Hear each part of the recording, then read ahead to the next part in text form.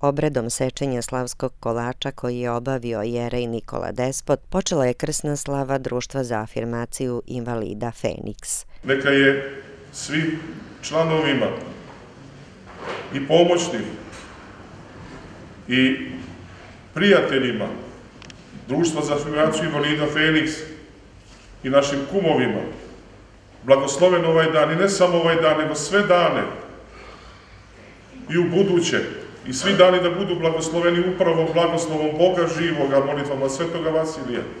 Da nas Gospod još mnogo godina ovde samo u radosti sabira.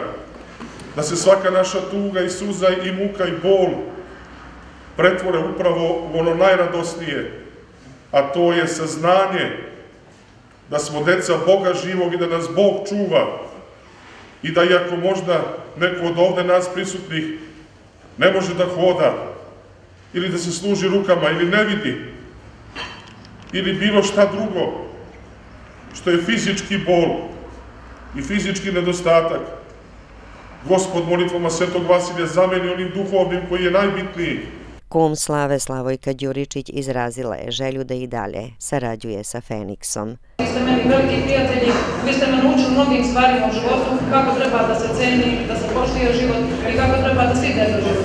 Hvala vam i nadam se zaista da ću ostati znači dugo s vas i vi meni. Novi kum Slave je porodica Tijanić. Kraći program su izveli članovi pevačke grupe pod rukovodstvom Vlada Nebzovski. U prostorijama Sokolskog doma se zatim nastavilo druženje članova Feniksa sa prijateljima ovog društva, među kojima su bili predstavnici lokalne samouprave, mesne zajednice, ustanova i organizacija sa kojima Feniks sarađuje.